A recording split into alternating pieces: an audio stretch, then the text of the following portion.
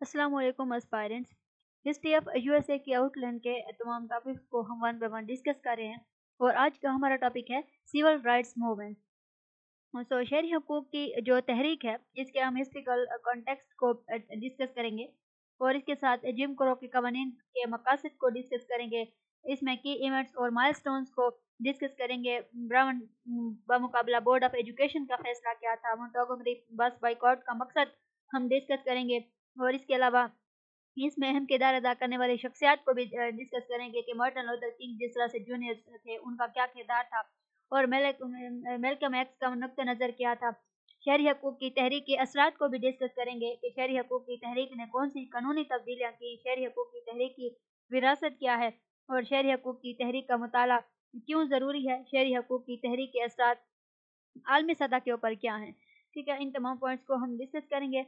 सो start करते हैं civil rights movements the civil rights movements in the United States primarily occurring during the 1950-1960. It was a pivotal period marked by widespread activism aimed at ending racial segregation and discrimination against African Americans. ठीक है America में शहरी हकूक की तहरीक जो कि बुनियादी तौर पर 1950 और 1960 की दहाइयों के दौरान हुई यह एक अहम दौर था, जो नस्ली तफरीक और अफ्रीकी अमरीकियों के खिलाफ इम्तियाजी सलूक के खात्मे के लिए बड़ी सतह के ऊपर सरगर्मियों से मुतासर हुआ, ठीक है?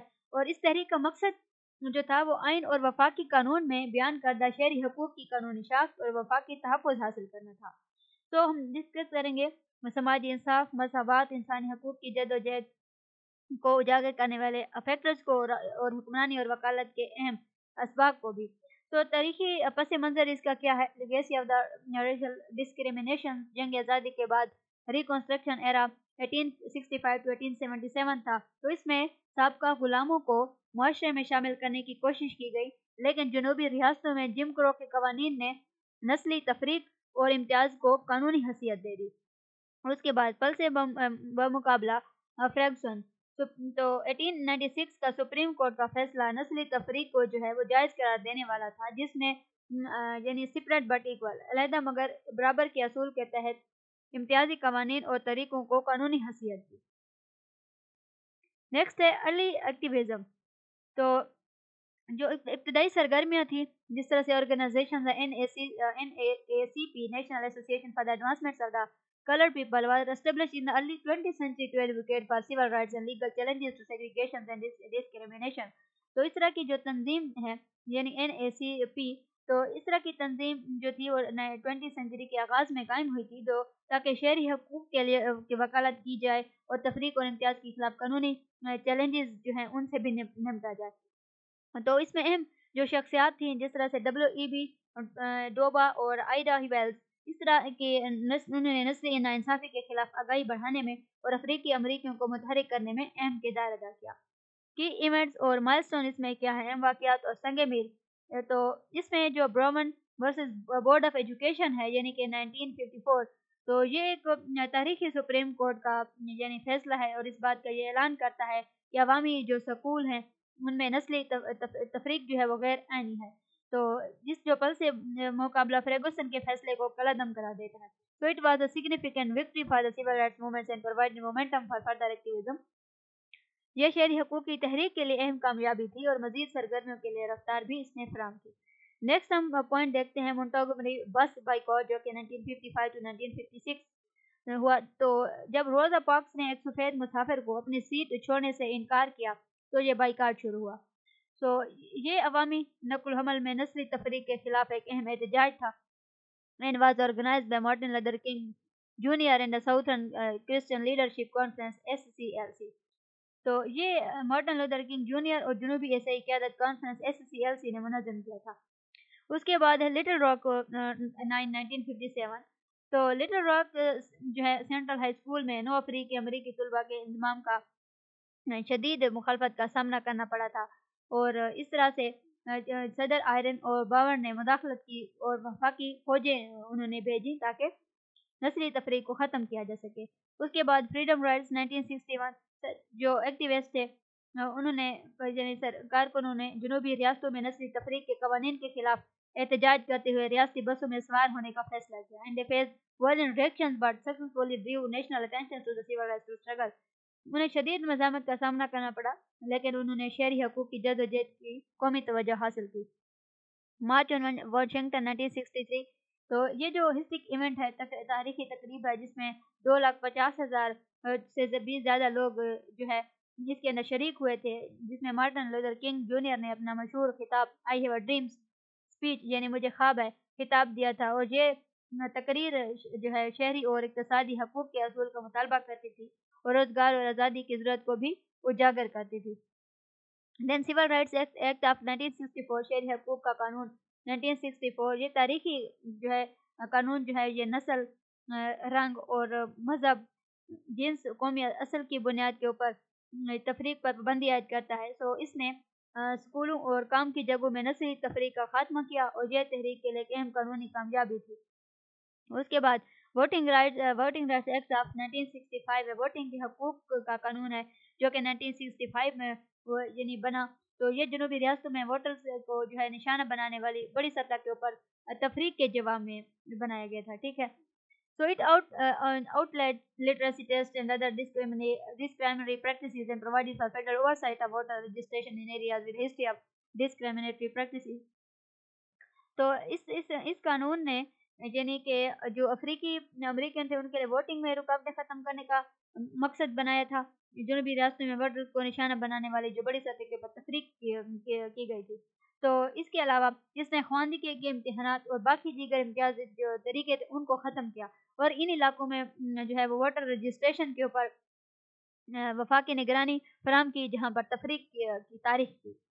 तो उसके बाद हम देखते हैं कि इसके अंदर अहम शख्सियत कौन कौन सी शामिल थी तो इसमें मॉडर्न नज़र किंग जूनियर शामिल थे यानी एक बेप्ट मिनिस्टर, यानी एक बेस्ट में देने वाले यानी कि बैप्टिस्ट मिनिस्टर जो सिविल राइट्स लीडर थे शहर हकूक के रहनुमा थे, और किंग ने गैर तशद मजामत की वकालत की एहतजाजों और रैलियों को मनज़म करने में अहम किरदार अदा किया, उसकी क्यादत और फसाद ने तहरीक के लिए अवामी हमायत को मुतहरिक किया। उसके बाद इसमें मेल जो है वो मेलकम एक्स थे मेलकम एक्स दूसरी अहम शख्सियत थी। ब्लैक नेशनलिज्म की तहरीक में एक नुमाया शख्सियत थी, थे और मेलकम एक्स ने खुद दिफा और सियाह ताकत की वकालत की थी सेल्फ डिफेंस और ब्लैक एम्पावरमेंट की। So his views differed from King non violent approach representing a more militant stance on civil rights उनके नजरियात किंग की जो गैर तशद की हमत अमली थी, वो उससे मुख्तलिफ़ थे और शहरी हकूक के बारे में ज़्यादा अस्करी नुक़ नज़र की नुमाइंदगी करते थे, ठीक है? उसके बाद रोज़ा पार्क से, रोज़ा पार्क अक्सर शहरी हकूक की तहरीक की माँ के तौर पर भी जाना जाता है और उनकी बहादुरी की मिसाल ने जो है वो अवामी बसों के ऊपर नस्ली तफरी के खिलाफ एक अलामत बन गई। Open call mother of the civil rights movement. उसके बाद कोरेटा स्क्वाड किंग, एक सरगर्म कारकुन और मार्टन लदर किंग जूनियर की अहलिया, उन्होंने अपनी ज़िंदगी भर शहरी हकूक और समाजी इंसाफ की वकालत में अहम किरदार अदा किया। उसके बाद हम इस सिविल राइट मूवमेंट के असरात को डिस्कस करते हैं। कि शहरी हकूक की तहरीक के असरात क्या रहे? तो कानूनी और समाजी इस तहरीक की वजह से तब्दीलियाँ क्या आई? इस तहरीक ने, इस मूवमेंट ने अहम कानूनी तब्दीलियों की ये तहरीक वजह बनी, ठीक है? जिसमें जिम क्रो के कवानीन का खात्मा हुआ और वफाक सतह के ऊपर शहरी हकूक के तहफात का क्याम इसके अंदर शामिल है? इनक्रीज अवेयरनेस एंड एक्टिविज्म फिर नगाही और सरगर्म, यानी सरगर्मी के अंदर इजाफा हुआ। इसने नस्ली अदम मसावत के बारे में आगाही बढ़ाई और आने वाली नस्लों को समाजी इंसाफ के लिए वकालत करने की तरगीब दी। जिसने खातन के हकूक और इसके अलावा L G B T Q press rights and environmental justice इसके ऊपर तवज्जो जो है वो मरकूज थी। इस तरह के इंसाफ के ऊपर तवज्जो मरकूज करने वाली तहरीकों को जन्म दिया। ऑन गोइंग स्ट्रगल्स तो इस तमाम के बावजूद बहुत सी कामयाबियाँ हासिल हुई।